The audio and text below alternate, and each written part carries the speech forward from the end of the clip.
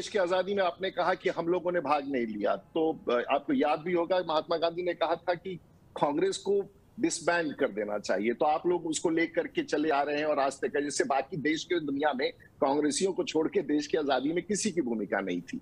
Doctor Ambedkar ने संविधान बनाया, उसके फादर ऑफ़ द कॉन्स्टिट्यूशन कहे जाते हैं। आप उनका, आज आज आप मान आप सिर्फ़ संविधान का नहीं, उन तमाम हस्तियों का कर रहे हैं, जिसने इस भारत को इस सत्तर, पचहत्तर साल की राजनीतिक अभियान में जो एक सशक्त रूप से उन्होंने एक ऐसा इंस्टीट्यूशन दिया जो आज भी कामयाब है।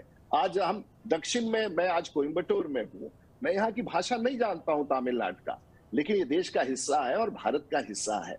हम पंजाब जाते हैं, हम कश्मीर जाते हैं, वहाँ का हिस्सा नहीं जानते, इसी संविधान ने हमें बाँध रखा है। और ये संविधान ने हम सब लोग को एक बना रखा है जो पूरे भारतवर्ष को दिखता है, जानता है। और इसी संविधान के तहत हम और आप इस भारतवर्ष में अपने आपको नविका जी ने बताया किस प्रकार से आप लोगों ने फंडामेंटल राइट्स को सस्पेंड कर दिया था। ऐसा कौन सा कदम हुआ है जिससे आप लोग की बेचैनी है? चुनाव की हार की बेचैनी में यही सवाल